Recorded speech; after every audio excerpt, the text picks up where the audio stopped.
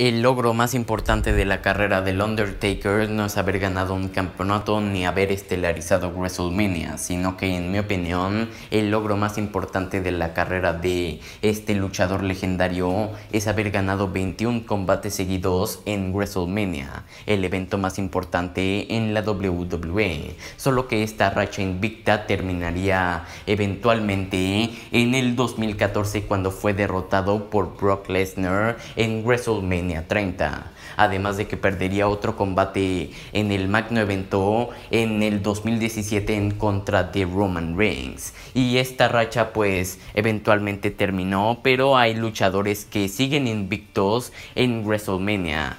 ¿Quiénes son esos luchadores? Bueno, ellos son los siguientes. El primer luchador que sigue invicto en WrestleMania es Omas. Omas hizo su debut en el magno evento el año pasado haciendo equipo con AJ Styles para derrotar a el equipo de Kofi Kingston y Xavier Woods de New Day. En este combate Omas no solo hacía su debut en WrestleMania, sino que en la WWE. Y al ganar este combate también ganó un campeonato, este siendo el campeonato tag team de Monday Night Raw. Otro luchador que hizo su debut en WrestleMania el año pasado y que sigue invicto en este magno evento es Damian Priest. Damian Priest tuvo su primer combate en WrestleMania al hacer equipo con Bad Bunny y enfrentarse a el equipo de John Morrison y The Miz. Un combate que Bad Bunny y Damian Priest ganaron.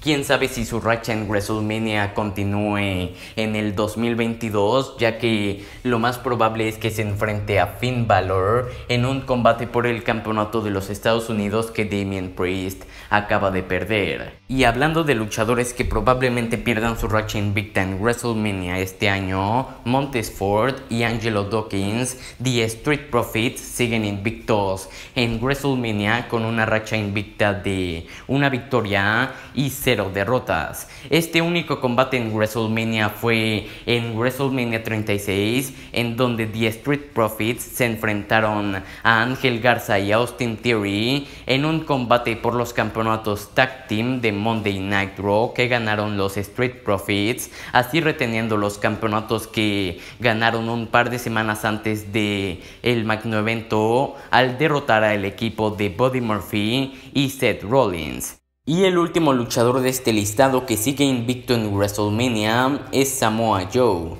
Es increíble el hecho de pensar de que Samoa Joe nada más ha tenido un combate en el magno evento más importante de la WWE, especialmente considerando todo el tiempo que estuvo en el main roster de la empresa. Solo que creo que mayormente por lesiones es la razón detrás de que el luchador no se pudo presentar en muchos de los magno eventos de los últimos años, como por ejemplo WrestleMania 34 y WrestleMania 36. Solo que aún así es increíble el hecho de pensar de que nada más ha tenido un combate en este evento. Ese combate se llevó a cabo en WrestleMania 35 y fue en contra de Rey Mysterio en un combate por el campeonato de los Estados Unidos. El combate fue de los más cortos en duración de ese WrestleMania, creo que duró como 5 minutos aproximadamente, y Joe ganó este combate y retuvo su campeonato de los Estados Unidos, solo que perdería el campeonato en contra de el mismo retador Rey Mysterio un par de semanas después en Money in the Bank,